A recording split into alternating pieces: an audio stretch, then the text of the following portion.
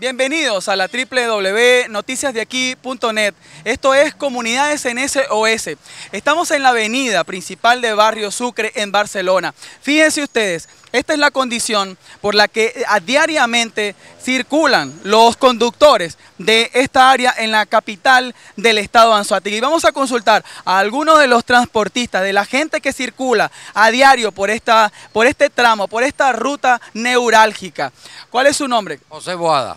José, ¿qué le parece a usted esta condición en la que está la avenida de Barrio Sucre? Esto es deplorable, hermano. Tú tienes más de 10 años que aquí no le han hecho un cariñito. Ahora que vino la misión asfalto, que en vez de ser misión asfalto lo que se convirtió fue en misión barro. Aquí no hay una calle que no sirva para nada. No hay una calle que se pueda decir Dios te guarde, porque todas las dañaron a raíz de que trajeron unas máquinas de Caracas, unos rotomil, para hacer la misión asfalto y lo que han hecho es dañar toda y cada una de las calles de Barrio Sucre. No hay una calle que, sirva aquí.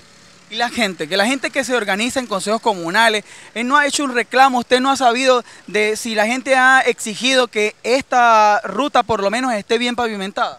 Se le ha exigido más de una vez, he escuchado a las personas que viven por aquí cerca, que han ido a la alcaldía, han hablado con todo el personal, con la alcaldesa Inés Fonti, tampoco dicen porque como llegó la misión asfalto y trajeron a Jacqueline Farías para acá a reparar los huecos de Barcelona y ellos tuvieron que, se lavaron las manos como Poncho Pilato, pues de ahí no hicieron más nunca nada.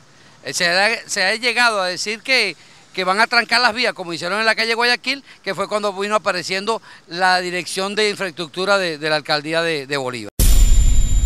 ¿Qué le parece a usted la condición de la vialidad en Barrio Sucre? Está pésima, horrible, horrible. Esta situación la han planteado los vecinos ante las autoridades.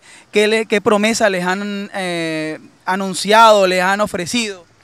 Bueno, lamentablemente mientras tenemos este gobernador aquí en este estado, pura promesa, pura mentira, pura nada, que no hay recursos que lo han desviado para X cosas y nunca hacen las calles, no hacen, hacen nada. ¿Es justo que la vecindad de Barrio Sucre en Barcelona tenga una vialidad tan deteriorada? Negativo. ¿Por qué no es justo? Pues si están tantas riquezas que tenemos en este estado, hay petróleo, hay todo en este estado, y está, es el peor estado que hay en Venezuela está, está en Suárez. No, que esto tiene tiempo así, tiene tiempo y nada que lo arreglen. Las calles la han raspado, pero la han dejado así raspada. ¿Le parece justo que esta calle tenga esta, condición? No, no, porque si no van a faltar, no, no, que no se pongan a raspar. Edgar, ¿qué le parece a usted la condición de esta calle? Terrible, horrible. Toda la calle de Venezuela, compadre. Yo viajo a nivel nacional. Esto está terrible. No podemos ya circular por ningún lado. No podemos viajar de noche. Esto no sirve para nada.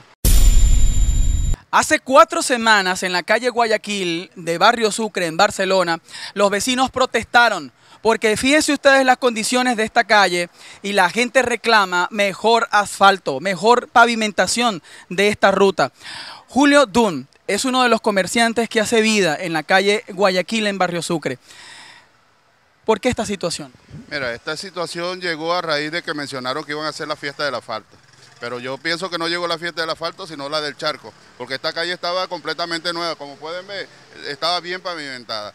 Luego la rompieron para repavimentar y se ha quedado así innumerable tiempo. Yo he estado mes y medio hospitalizado con una bronconeumonía.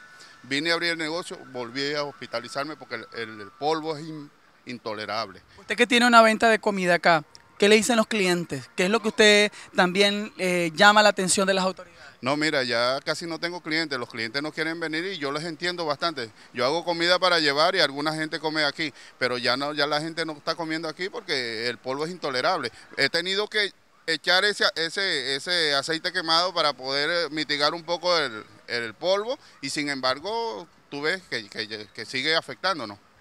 Los vecinos y comerciantes de Barrio Sucre, los que hacen vida y viven en la calle Guayaquil, aspiran un mejor asfalto o por lo menos que la vía esté asfaltada y que no tenga ni huecos ni, por supuesto, todo este polvo que afecta la salud también de los habitantes de Barrio Sucre en Barcelona. Comunidades en SOS. La gente de Barrio Sucre lanza un SOS. Usted esté pendiente de lo que les ofrece siempre la www.noticiasdeaquí.net.